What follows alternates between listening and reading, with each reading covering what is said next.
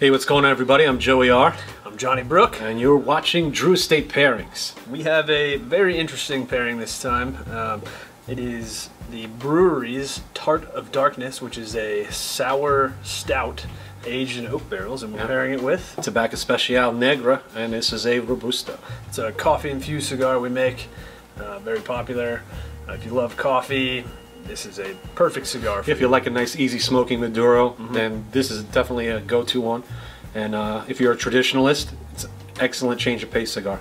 Definitely. Perfect after dinner uh, with your morning coffee. Really, you know, lots of options there. So, the beer is quite sour. Is very sour. We, we've been drinking it a little bit. Um, Yeah. They compare it to a warhead. yeah, yeah. heard. That's kind of the flavor we're getting. It's a, a very interesting pairing.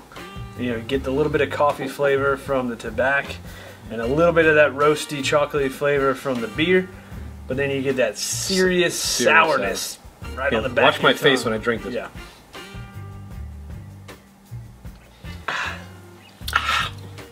Yeah. It just, man, it, it bashes the front of your tongue and it hits those little glands right here.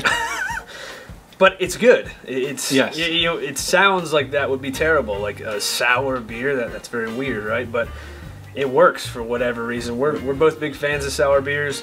This pairing, we kind of just pulled out of our ass. You know, thought, okay, maybe this will be cool, and Yeah, it and it ends, out. ends up being more like a like a, a sour cherry stout. yeah, Which is this doesn't have any cherry in it. This doesn't, but because of the combination, the tobaccos, yeah.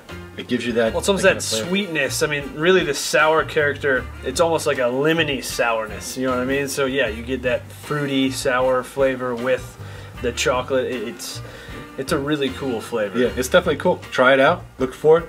Yeah, it's it's expensive. It's Tart of Darkness. twenty bucks a bottle, so Yeah, so definitely a commitment, but uh, we think it's worth checking out. yeah, check it out. Interesting pairing. Yes, interesting indeed. Until next time.